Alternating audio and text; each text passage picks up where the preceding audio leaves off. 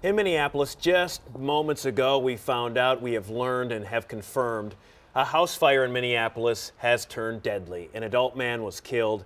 This happened on 23rd Avenue Northeast and Northeast Taylor Street around 745 tonight. Minneapolis fire officials say someone in the home was uh, hurt and taken to HCMC. We have just confirmed that that person has passed, a male, a man, and fire officials are now investigating.